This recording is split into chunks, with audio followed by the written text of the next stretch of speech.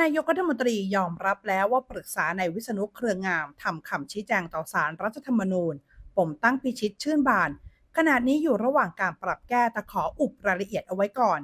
โดยเรื่องนี้นายกเศรษฐาทวีสินระบุถึงความคืบหน้าในการจะทำคำชี้แจงต่อสารรัฐธรรมนูญ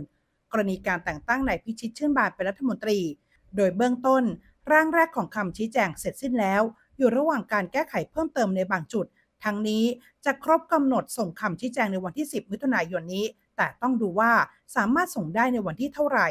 โดยจะต้องให้ความสำคัญในทุกประเด็น และยืนยันว่าในทุกๆ ขั้นตอนในการแต่งตั้งทำถูกต้องตามกฎหมาย แต่ทั้งหมดต้องขึ้นอยู่กับการพิจารณาของศาลรัฐธรรมนูญ ที่ต้องให้เกียรติท่าน ตนจึงขอไม่พูดว่ามั่นใจหรือไม่มั่นใจ แต่ตนมั่นใจว่าทำด้วยความสุจริต ส่วนคำชี้แจงจะต้องมีการยืนยันหรือไม่ว่านายพิชิตมีคุณสมบัติ และไม่มีลักษณะต้องห้ามตามที่กฎหมายกำหนดนายเศรษฐากล่าวว่า ทุกอย่างอยู่ในคำชี้แจง คงไม่ใช้เวทีของสื่อมวลชนที่จะมาพูดว่าอะไรเป็นอะไร ต้องขอความกรุณาตรงนี้ด้วย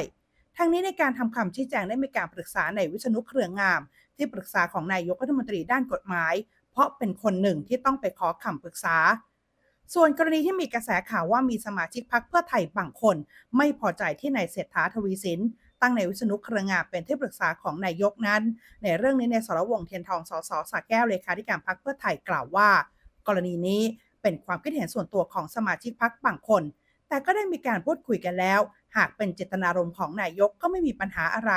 เราต้องทำงานแยกกันให้ชัดเจน หากนายเศรษฐาเห็นว่าอะไรที่จะก่อให้เกิดประโยชน์กับประเทศชาติมากที่สุด พวกเราพักก็ต้องพร้อมสนับสนุน